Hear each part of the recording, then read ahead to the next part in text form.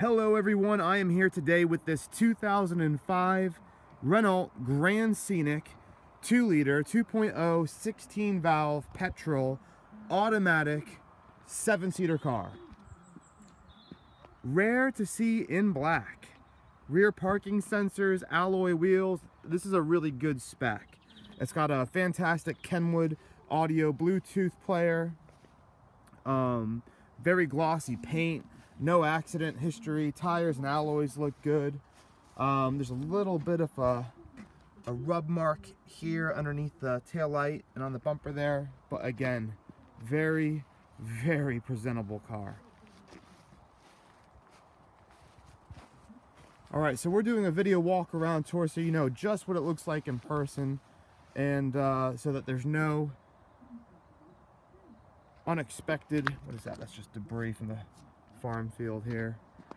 Okay, so um, a little bit of a rub mark underneath that headlamp there. Let's go ahead and take a look inside the car.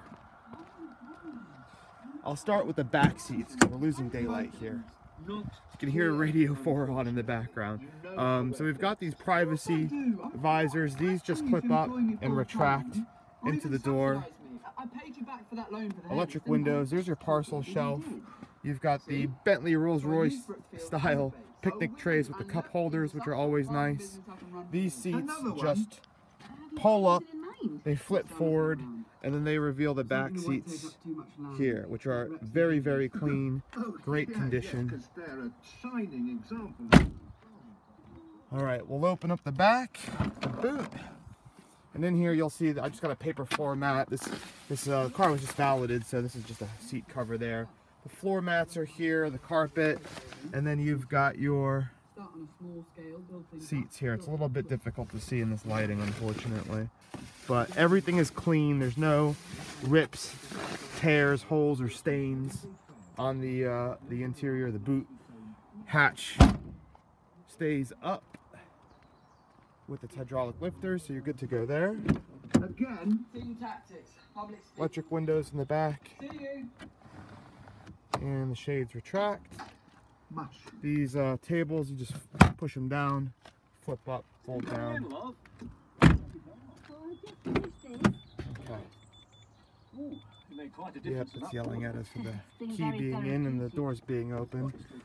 That's the passenger side. And let's hop into the driver's seat here. Turn this radio down and get the show on the road.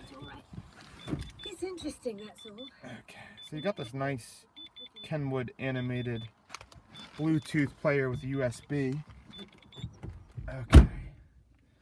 Door shut. We'll go ahead and put our seatbelt on.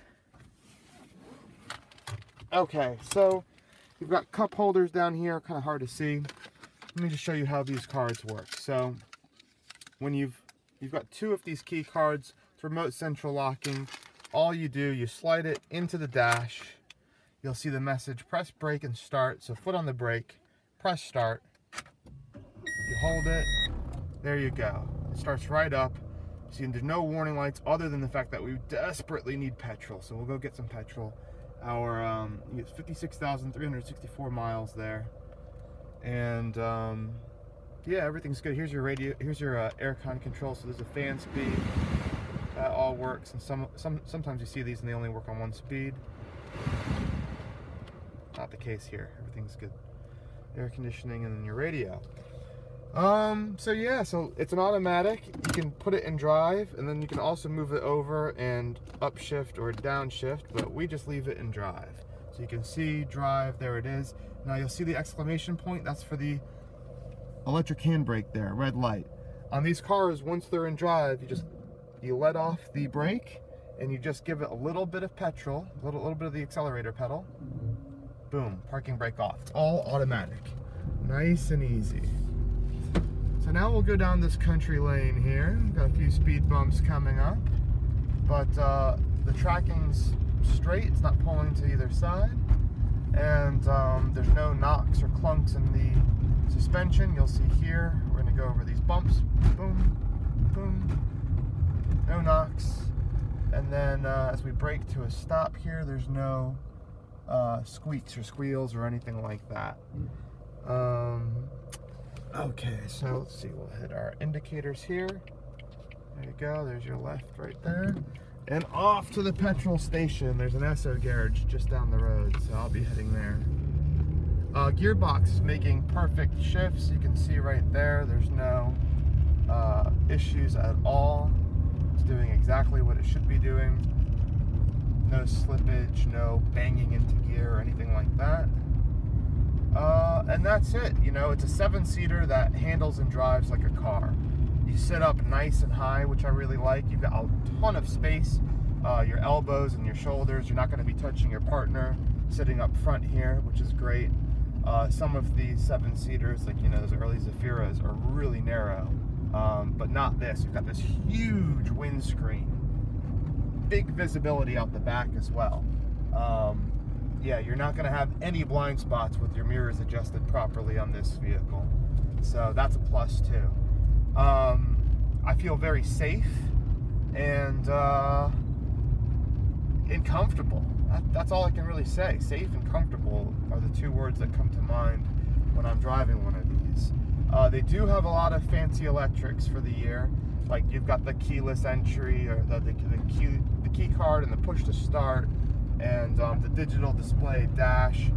Uh, but everything is working on it, which is great. Some some of these cars, you get the key cards, they don't work um, because the circuitry is right underneath the lock and unlock button. So when you press lock and unlock over and over over the years, it breaks up the circuitry. But these both of these key cards are working, and they're working great. Um, the windows, all of the windows work. Uh, there's really no faults I can detect. So that really covers all the bases, guys. If you've got any questions, just get in touch. And aside from that, I'll see you in the next video with the next car. Take care, everybody.